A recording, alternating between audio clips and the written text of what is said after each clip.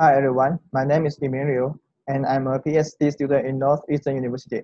Today I'm going to talk about our paper titled Climate Downscaling using YNet, a deep convolutional network with skip connections and fusion. It's a joint work with Professor Auroop Ganguly and Professor Jennifer Dy. Image change has great impact on human society in recent years. It's reported that both the frequency and the loss of large climate-related disasters in the United States have increased in the last decade. In order to understand the climate change and get better preparation for the climate events and reduce loss, scientists have built global climate models or GCMs to predict future climate change. But their grid resolution is too cost to be used in local climate impact analysis. Therefore, people propose a technique called downscaling to get higher resolution climate variables from GCMs.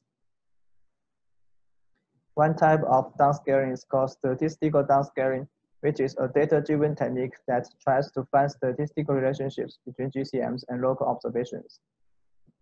Statistical downscaling is very similar to the image super resolution technique in the computer vision field if we regard climate variables in an area as images. They both aim at getting higher resolution images from lower resolution images. However, there are some differences. Firstly, there are multiple channels of unbounded climate variables with different value ranges and more skewed distributions in downscaling. Secondly, there's an additional regression problem besides increasing resolution in downscaling since the inputs and outputs come from different sources. Thirdly, since climate variables are interactive, we can utilize auxiliary variables to improve performance in downscaling. And lastly, climate variables often have temporal periodic property.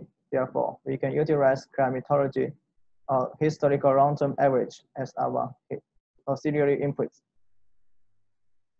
Based on the similarities and the differences between statistical downscaling and image super resolution, we proposed a neural network model that adapted from a super resolution method for downscaling to leverage the advanced super resolution technique. The proposed model architecture YNet has three parts. The first is the encoder-decoder part, which consists of symmetric convolutional and deconvolutional layers with skip connections to extract features. The second part is the upsampling part, which consists of interpolational and convolutional layers to avoid checkerboard artifacts. And the last part is the fusion part, which combines the output of the second part and the auxiliary variables to get the final output. We compare our method with four other methods who are for image super resolution, which are ESPCN and RedNet, and the other two are for climate downscaling, which are BCSD and DeepSD. This table shows the mean square error for different data sets and three different downscaling factors. Our method outperforms other methods in most cases. These figures show the mean absolute error of maximum temperature across the United States. The lighter the color, the smaller the error. We can see that our method has the smallest error in most areas. We also compare the seasonal mean square error of mean precipitation and bias and correlation for different methods. Our method has the smallest error for all boreal seasons, winter, spring, summer, and autumn, and also perform best in most cases for bias and correlation.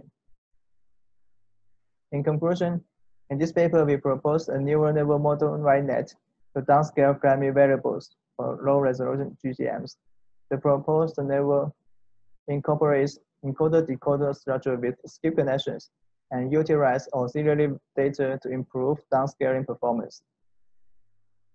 For more detailed information and results, please refer to our paper, Climate Downscaling using YNet, a deep convolutional network with skip connections and fusion. And our codes are also available on GitHub. Thank you.